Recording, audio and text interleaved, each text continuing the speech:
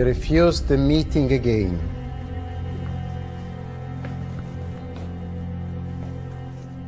Let him know that Don will see him tomorrow. Right now, sir, but where? Here. Here? In your office? Here.